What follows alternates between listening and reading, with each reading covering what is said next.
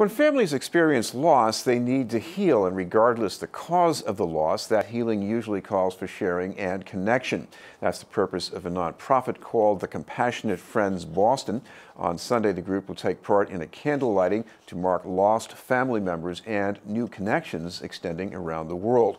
We'd like to welcome the co-leader of the group in Boston, Chuck Snekvik. Thank you very much for being with Hi, us, Chuck. Thanks. Good to be here.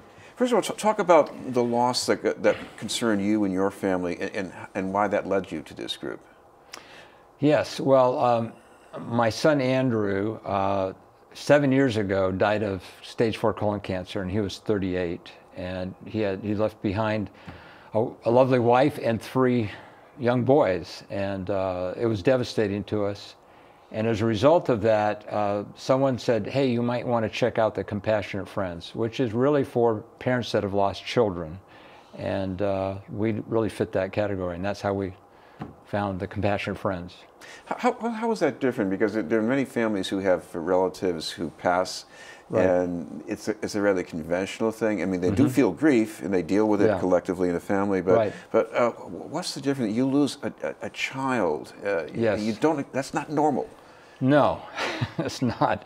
And as we're talking, I, I had told you previously, 40 years ago, we lost our first child, our oldest child, Amy, in a car accident.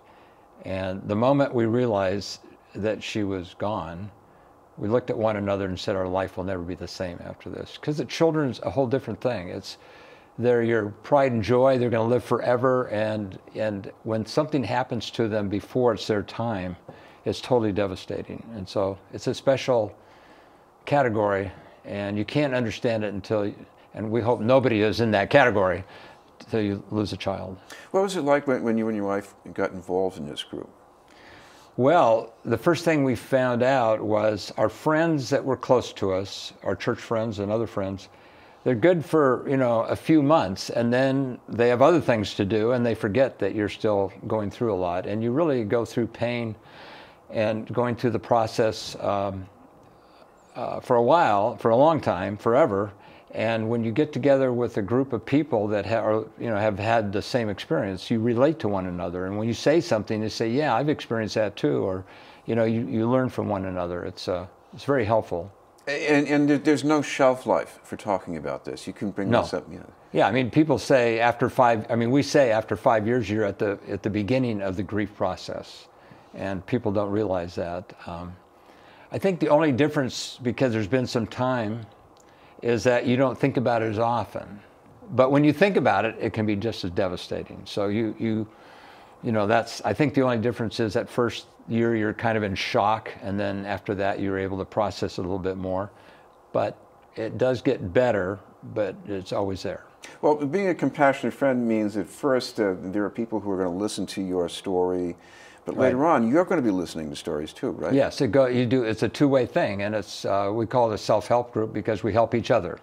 And uh, the idea is you don't give each other advice; you share your own story, and people can learn from one another. And uh, but we've had so many people that come and say, "I'm so glad we found this group because we feel like that everybody here understands what we're going through."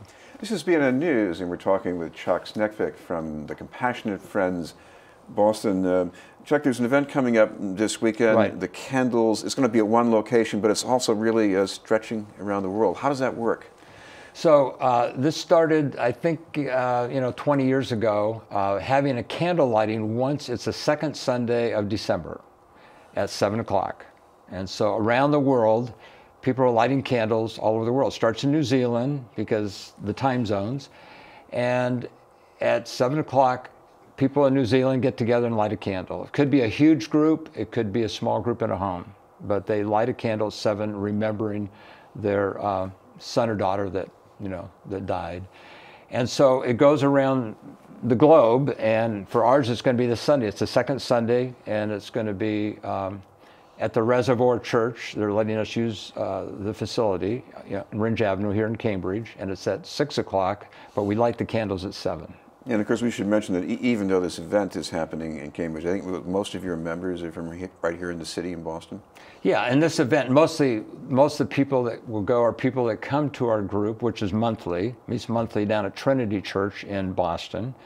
And uh, we meet on the second, or the, uh, the first Tuesday of every month, first Tuesday at 6 o'clock.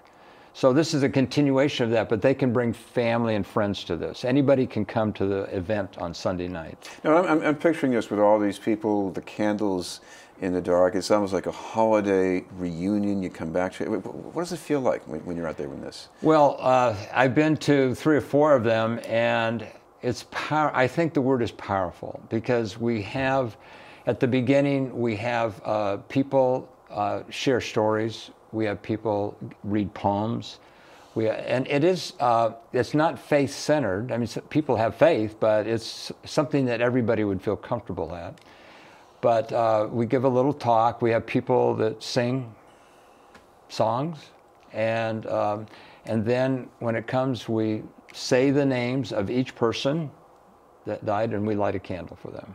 And it's, I, the only thing I can say is it's, it's very moving. It's emotional. And it makes you sad, but it also makes you realize, hey, we're all holding a candle for the one that we love so much. And so there's a sense of unity in the process.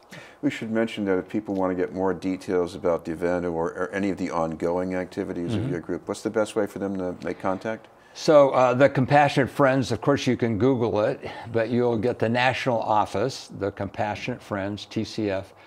Uh, email is tcf of Boston, tcf of Boston, gmail.com, at gmail.com. Thank so. you very much for being with us. Yeah, thank you. Chuck Snekvik from the Compassionate Friends, Boston. Thank you.